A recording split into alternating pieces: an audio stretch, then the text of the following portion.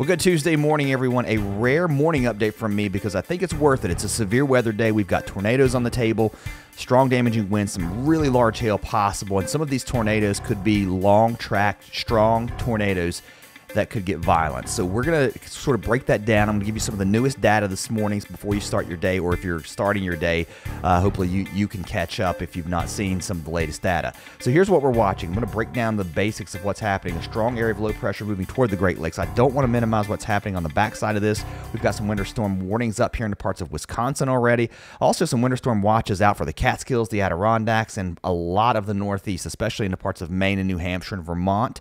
Uh, some heavy snow going to be happening here.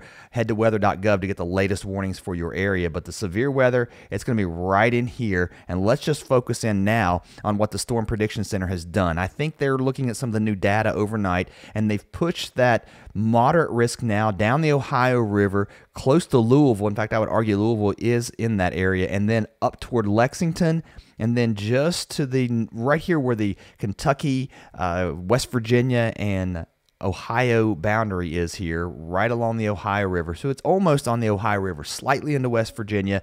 Regardless, don't get hung up on exactly where this line is in and around this area, I think that's going to be the highest risk. And really, even in this uh, enhanced area, we're talking about a three out of five on the scale here. The red is a four out of five chance of seeing severe weather. So this is a high risk day, uh, not just for strong damaging winds, but tornadoes. This is the tornado outlook. You see this hashed area. It has now been pushed into a few different areas. Now it's a little bit further south, very close to Birmingham now um, over to Tuscaloosa, a lot of Mississippi. I don't know if it's all the way down to Starkville, but close enough that if you're in northern Mississippi from Tupelo north in, to Jackson, Tennessee, not quite to Memphis, but still we've got the storms here. A lot of the severe weather is going here now, uh, and there's also some strong storms going through Ohio. So the morning, this isn't it. We're seeing some decent storms now heading into to this afternoon, later today, that's when the real storms will kick off, uh, and they're going to start from west to east. But yeah, back into parts of Ohio, uh, northern Kentucky, and I would, would argue the lowlands of West Virginia could experience some tornadoes today. And the thing is, especially back in this area, some of those tornadoes could be long track, meaning they're on the ground for a long time. They could be violent and, and very strong because the dynamics are certainly there. Uh, this is the probab- probabilistic wind outlook heading into today. So you have a large hashed area. So even if you don't see a tornado, you could have strong, damaging, severe thunderstorm winds with these storms that are moving through.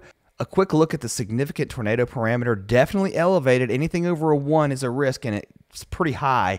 You would argue that some of those cells try to work into the Virginias here. And look, down into the south, they start to weaken as it heads off into Georgia, but still, I think you got to keep an eye on this too. Strong jet streak still showing up here in the upper levels and the mid levels of the atmosphere, moving through out ahead of it on the front right side. That's where your severe weather is going to be. And uh, let's time some of this out on the future radar. There's those storms going through Ohio tonight. We've got the big severe weather back across Kentucky and Tennessee, bringing a few isolated tornadoes. But then, as we move into the afternoon, that's when we're really going to start to see things fire up and get even stronger.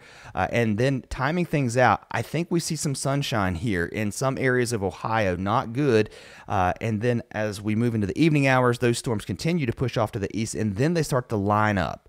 So now we're looking at areas from Dayton all the way down to, to Louisville. So this is what, 4 o'clock central. So sometime late this afternoon and this evening, that will be the highest threat and then as we head into the late evening hours, 7, 8, 9 o'clock, we're not going to be done with things. So from Columbus down to Frankfort, getting close to Lexington, these cells all in this area, they will start to weaken but there's a lot of wind shear in the atmosphere and again you could you saw where that tornado risk even though uh, we see those cells kind of falling apart the storm prediction center i tell you if we were just looking at this risk okay this uh, 5% risk here, you would still be really paying attention for tornadoes in these areas, even in the, to the green.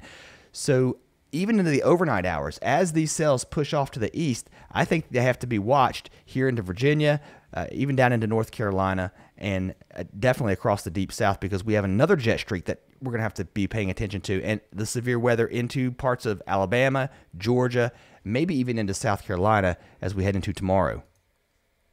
And timing things out across the south, here we are Tuesday morning. We will have rain showers going back from Mississippi to Alabama. Even some of these cells moving close to Nashville as we head into the afternoon could be strong to tornadic.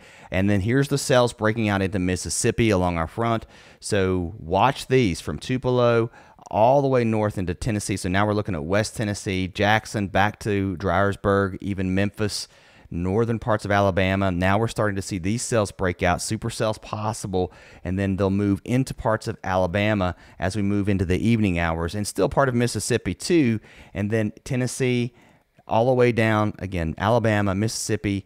And I wouldn't discount anything that might even form here along the Gulf Coast. So overnight tonight, things moving again into Alabama, Georgia. Yes, watch these cells even to the early morning hours and then into tomorrow, we'll see everything again push off to the east into parts of the Carolinas and then into Florida. A quick look at the snow side of things. This is going to be a heavy snow. These are 10 to 1 ratios, meaning 10 inches of snow per 1 inch of rain. I think this ratio may be closer to 7 to 1, maybe even 6 to 1, meaning a heavier wet snow. So instead of saying let's pretend it was a 5 to 1 just for math. Instead of 20 inches, you'd get 10 inches on the model. So that doesn't mean you're getting less liquid equivalent. It just means it's going to be more compact and heavier and sloppy.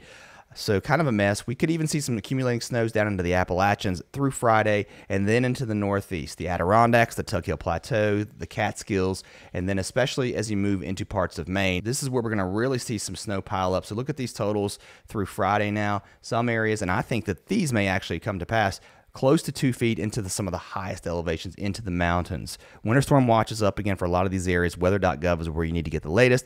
But again, the big threat today will be tornadoes in these areas. Be weather aware today. Have a great day.